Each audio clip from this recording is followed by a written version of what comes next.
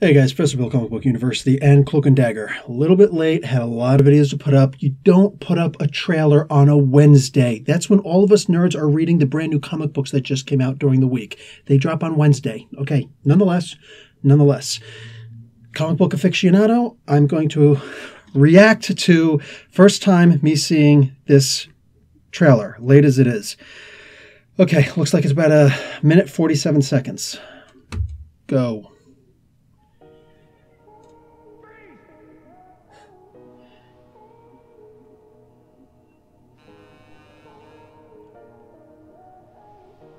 She's a ballerina. Did I ever tell you about that night?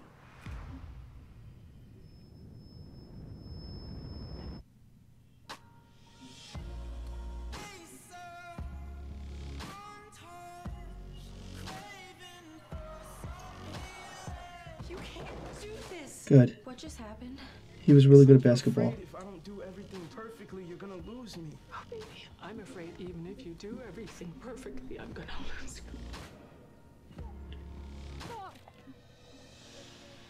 What's your name? Tandy Bowen, Tandy. And his name Tyrone Johnson. Yeah, Tyrone.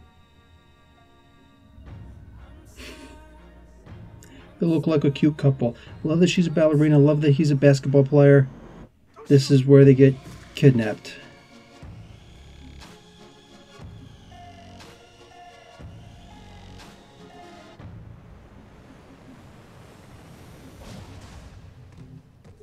Um, that shouldn't hurt each other. They're symbiotic with each other. 100%.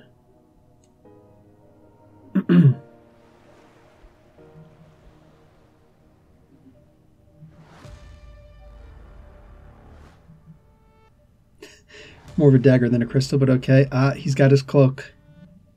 Like Roxxon! Yo, Roxxon is everywhere. That's like the one that that, that ties everybody more than uh than Coulson ever did. cloak and dagger, and that looks beautiful. That looks beautiful. All right, guys. All right. Uh, whew. Let me close this puppy up. My laptop. All right. Yeah, this looks good. Um, we okay. First off, I've already got a video, so I don't have to go into too much explanation about Cloak and Dagger. I've already got a video up that I put up maybe two months ago. Um, as soon as I heard that they were going to do a Cloak and Dagger thing on Freeform and whatnot, I was like, oh, that's it. I loved Cloak and Dagger. I grew up reading the hell out of some Cloak and Dagger, starting off in Spectacular Spider Man. Guys, I've got like a two minute video. It's called Explained in a Minute, but they're two characters, so a minute each. in reality, it's one video where I just explain them both. Uh, so literally two minutes, you'll have more than enough understanding of who Cloak and Dagger were. Little differences in this, now it's over here, is that um, they actually met in New York City, not in a park or something like that. But you know, they want to change stuff like that. I'm good. I'm totally good with that. Um, the way they originally met was that uh, she ran away from home because her mother's like a supermodel trying to actress thing, but she's majorly just a drug uh, addict, you know. And stepfather is actually a really good guy, but he but she doesn't trust him, so she just she ran away from home, you know. Um, yeah, and she was like 15, if I remember correctly, and he was 16. That was about the age, if I'm remembering correctly, uh, that you know they they they left home.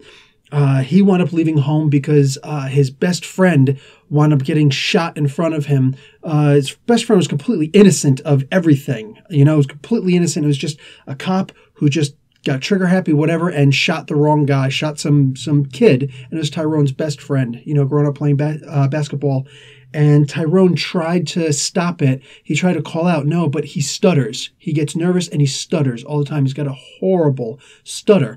And boom, the cop literally just shot his friend dead. So he ran away from home, just not being able to deal with everything. So we ne- we do get to see a little bit of um, his mom in and his neighborhood in his backstory, but for the most part, we don't really learn too much about his mom in the story. So I like that they might actually explain something here. He was of the opinion he could never go home. He could never be normal again. He put on that cloak because he wasn't him anymore. Once they got uh, brought into this uh, this drug ring, right? They met each other, and he was actually about to pick her pocket you know, to take some money, and he decided against it. Somebody else comes along and picks a pocket instead. You got to remember, this was back in like 1983, 84. uh, Times Square, New York City. Guys, uh, today, uh, you know, you could walk down Times Square, it's not a problem. Back in the day, you couldn't walk 30 feet. You think I'm joking? Look it up. Ask, ask an older person, all right? 30 feet without walking into another sex shop, you know what I'm saying, or something along those lines. That's no exaggeration. Penny peep shows or, or quarter peep shows all the time, you know, and just rated R stuff, hookers on the streets, and just people peddling drugs.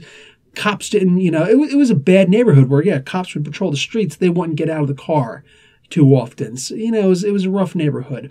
Um, thanks Giuliani for cleaning that stuff up because he was best friends with all of the um, the mobsters at the time, and he worked out a deal. Hey, clean them up so I can look good. Yeah, it is what it is, man. It is what it is. I'm from Jersey, baby. Don't. So anyway, yeah, the basically it was it was one of those kind of really rough growing up situations, and I could see why they wouldn't do it now because. New York isn't really like that anymore, you know, especially not Times Square. It's beautiful at this point. So, is what it is. And I think that this could be great because there's a huge drug story. I'm sure that Roxxon is going to be involved in this somehow. Um, they weren't. It was a weird kind of story, but you know they, they, they hired people to make a manufacture a new drug for on the street. Roxxon oil isn't only Roxxon oil, so I'm sure they're going to have something to actually do with it. It's not just going to be a little you know given like oh look there's a sign that's in every single Marvel movie, TV show, and possibly even cartoon. So yeah, I'm I like what they're doing. Okay, I'm just saying that over and over again. Really looking forward to this, guys. Check out my uh, Cloak and Dagger Explained in a Minute video. Everything that you need to know about them. All right, guys. Professor Bill, Comic Book University, class dismissed.